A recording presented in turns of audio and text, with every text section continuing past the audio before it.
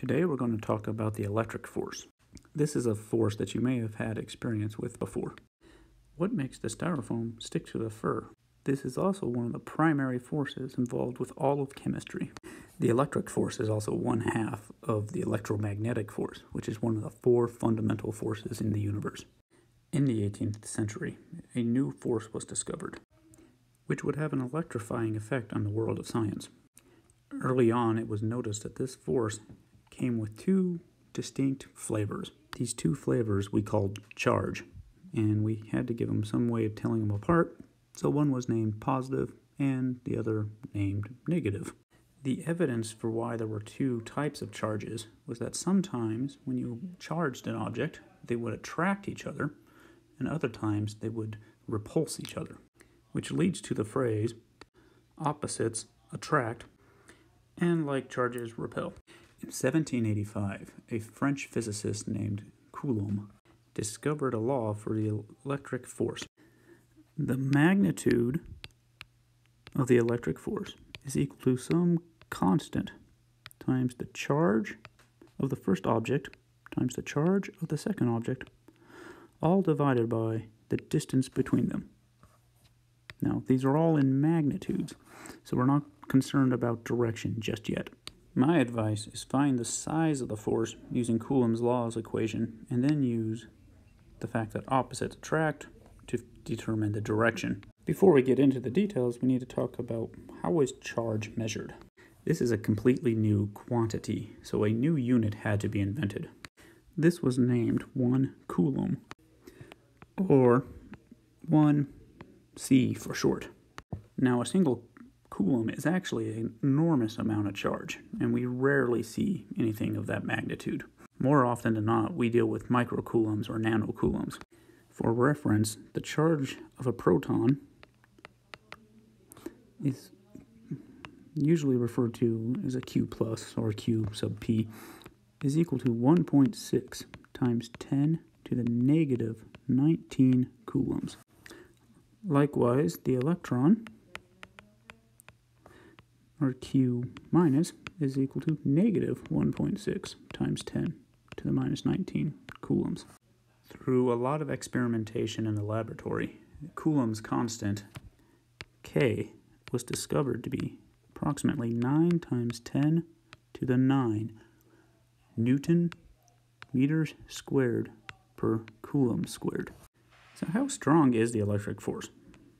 Let's analyze what it's like for the hydrogen atom. I know this is not a hydrogen atom, but over here is something that more closely resembles it. Now, the average distance between the electron and the proton in a hydrogen atom is, you know, it's pretty small, but 5.3 times 10 to the negative 11 meters. So the magnitude of the electric force can be calculated.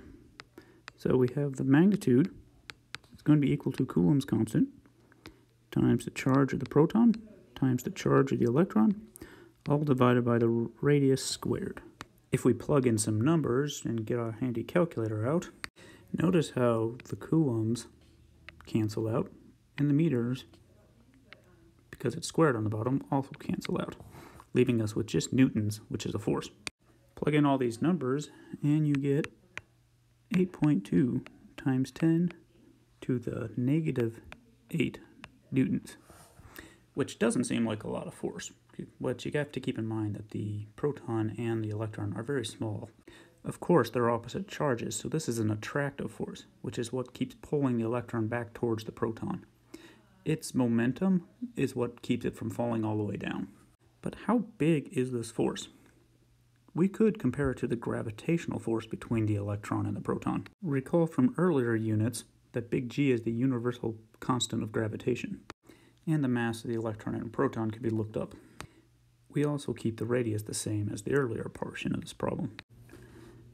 This gets us 3.6 times 10 to the negative 47 newtons, which shows us that the gravitational force is incredibly small compared to the might of that electric force. Of course, if it's so powerful, how come we don't see it more often?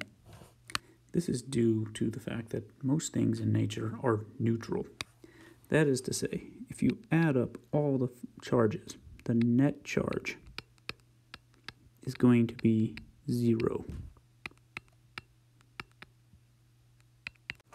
Now, charge is one of the fundamentally conserved quantities, which means it is neither created nor destroyed. So the total amount of charge you start with equals the total amount of charge you end with, at least in a closed system where nothing is allowed to come in or out.